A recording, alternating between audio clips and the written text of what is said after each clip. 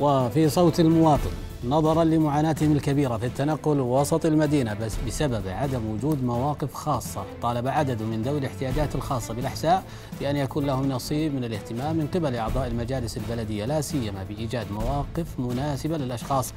ذوي الإعاقة الحركية.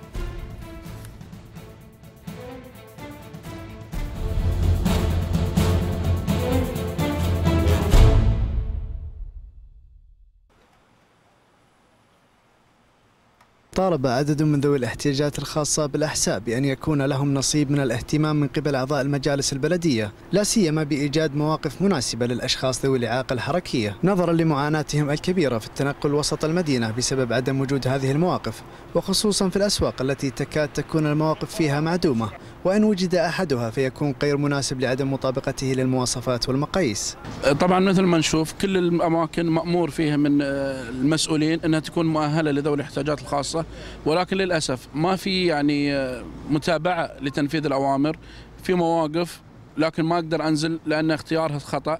آه، في منزلقات اطلع منها لكن ما أقدر أطلع لأنها محجوزة. والسبب إن المنفذ ما يدرك إيش المطلوب منه ولا في متابعة للأمر الايجابي انه ينفذ مكان خاص بالمعاقين. ويرى البعض أنه لابد أن يكون هناك تنسيق بين المجالس البلدية والمرور فيما يخص احترام مواقف ذوي الاحتياجات الخاصة وتطبيق الغرامات على المخالف. أتمنى من المجلس البلدي يعني ال- في هذه وجهة نظري وأتمنى أن كل مسؤول في المجلس البلدي أو الأمين أن يضع كرسي في سيارته ويتجول بنفسه لكي يعرف معاناه ذوي الإعاقة. يعني أنا لو حطيت السيارة على الشارع طلعته برا يسمح لي النزول في في المجال لكن لو وقفته بالمكان المخصص لا يسمح لي النزول اطلاقا. فأتمنى يعني من أمانة الأحساء مراجعة جميع الأنظمة اللي عندها خاصة لمواقف ذوي الإعاقة. يشار إلى أن ذوي الاحتياجات الخاصة جزء لا يتجزأ من المجتمع ومراعاة احتياجاتهم حق من حقوقهم وعلى جميع الجهات المختصة الاهتمام بذلك المواقف الخاصة حق مكتسب لذوي الاحتياجات الخاصة في الأسواق والأماكن العامة ويأمل ذوي الاحتياجات الخاصة في محافظة الأحساء من تسهيل وتوفير المواقف الخاصة لهم في الأسواق والأماكن العامة. صالح المري الإخبارية الأحساء.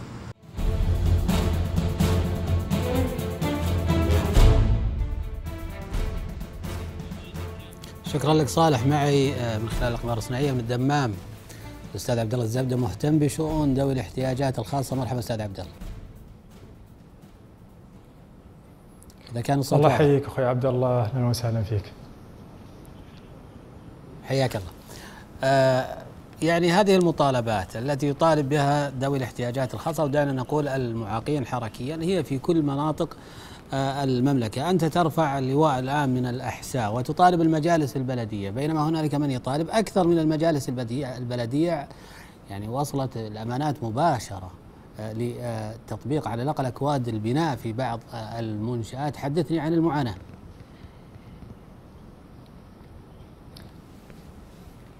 طيب أخوي عبد الله بس آه، أبغى أوضح لك نقطة. تفضل. آه، طبعا فيه آه، دليل آه، إرشادي لمعايير الوصول الشامل يشتمل على كل الاشتراطات الفنية. طبعا هذا لجميع الأمانات آه، في المملكة. آه، وهذا ال- آه، القرار من عام 1402 1402 آه، آه، إي نعم.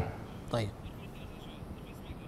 طبعا هو يشتمل ما يشتمل على المواقف المعاقين بس لا يشتمل على شيء أكبر. يشتمل على الفنادق يشتمل على آه، الطائرات آه، القطار آه، يعني هو كل ما يهدف له أن يتحرك الشخص من ذوي الإعاقة بكل حرية وسهولة. طيب.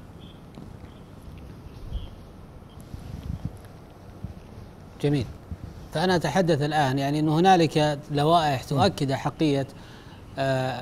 هذه الفئة و- وفي المقابل زي ما ذكرت أنت الموضوع أكثر من عمليات آه، عدم وجود مواقف طيب لا ما في مواقف والمحتاجين يحتاجون مواقف وما حد سمع لكم إيش بتسوون؟ لأنه خاصة يا أستاذ عبد الله ترى الموضوع هذا أستاذ عبد الله أنا أنا شخصيا يمكن آه، من خلال الإخبارية تكلمت عن هذا الموضوع أربع مرات يمكن الآن هذه المرة الخامسة على سنوات عدة. فأعتقد بانه هنالك حراك بطيء تجاه الموضوع حتى بالعكس بعض إنه الجهات لما تحط مدخل للمعاقين أو مواقف للمعاقين يعني تستغل تستغل الموضوع كنوع من التسويق لها وكأنها تمن على المعاقين بهذه المواقف.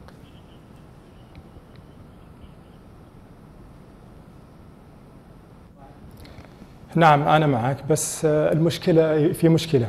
اتفضل. المشكلة أن لا يوجد تنسيق ما بين الأمانة مع المقاول يعني اللي يقوم على هالمواقف. زي مثلا الأمانة يعني جميع الأمانات اشترطت أن لا يعني أنها ما تمنح أي تصريح لأي يعني جهة إلا تكون مطابقة للمواصفات والمعايير. لكن مع الأسف هم يعني من عام 1402 عبد الله إلى الآن ما شفنا يعني أنت من الحلم نعم. الذي تحتويه داخلك ومن الأدب تقول أنه ما في تنسيق بينما ترى لا يتم تسليم أي مشروع أو لا يتم استحقاق مخالصة أي مشروع إلا بعد أن تتم مراجعة المشروع وتطبيق كل ما جاء فيه هندسيا جودة وإلى آخره فبالتالي الأمانات اللي تستلم مشاريع ما فيها مواقف لا تتوقع بأنها والله ما انتبهت. لا هي غضة الطرف.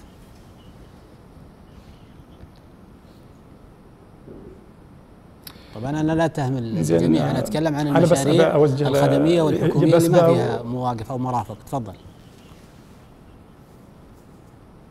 نعم. هو المشكلة ان, إن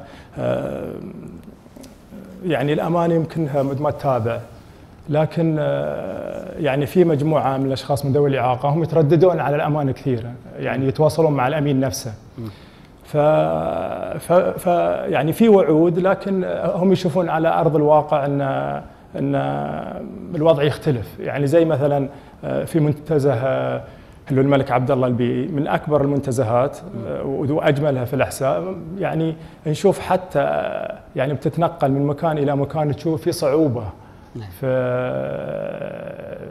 يعني في يعني في البلاط المستخدم تشوف يعني زي اللي اللي يكسر الكرسي وهو يتحرك من طيب. مكان إلى آخر طيب. بالإضافة إلى دورة المياه يعني دورة المياه حتى غير مناسبة للأشخاص من ذوي الإعاقة يعني إنه يخش بكرسي هو هو على العموم هو هو هو مش في الأحساء بس حتى في الشرقية يعني أنا جيت مع الأخ حسين ذي النويصر اللي قبل شوي يتكلم جايين في برنامج خمس أيام في الدمام نعم. يعني يعني لا مواقف مناسبة ولا دورة مياه يعني لو وقف السيارة وجاء أحد يوقف في جنبه ما يقدر ينزل من السيارة طيب بالإضافة إلى يطول العمر الجهة الرسمية دورة المياه أستاذ عبد الله نعم. الجهة الرسمية التي من المفترض أن تطالب نعم. بهذه الحقوق عنوة من هي؟ وش الجهة الرسمية؟ يعني نحن الآن نشهد حراك على مستوى فردي أو مؤسسات مدنية لكن لا تؤخذ بشكل جدي بأنه هذه المطالب نعم. يعني, يعني نحن نتكلم عن مطالب حقوق ناس